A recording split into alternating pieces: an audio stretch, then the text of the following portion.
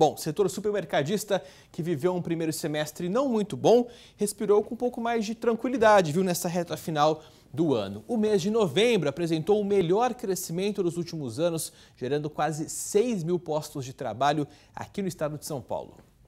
Rebeca tem 19 anos e estava desempregada. Ela conseguiu a primeira oportunidade de trabalho com a inauguração desta rede de supermercados em Catanduva, na região de Rio Preto. Estou gostando muito, é uma oportunidade de crescer, né?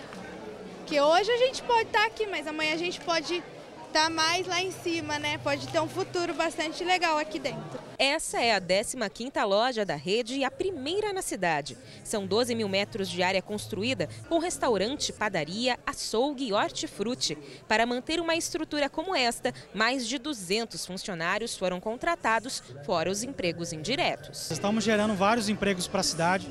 É, atualmente estamos com 220 funcionários, né, bem distribuídos em todas as classes, do menor aprendiz à terceira idade, dando oportunidade para uma boa parcela a pessoas que buscam o primeiro emprego. Segundo dados do CAGED, Cadastro Geral de Empregados e Desempregados, 2018 não foi muito bom para o setor mercadista, mas o mês de novembro teve desempenho acima da média, com 5.938 novos postos de trabalho nos supermercados paulistas.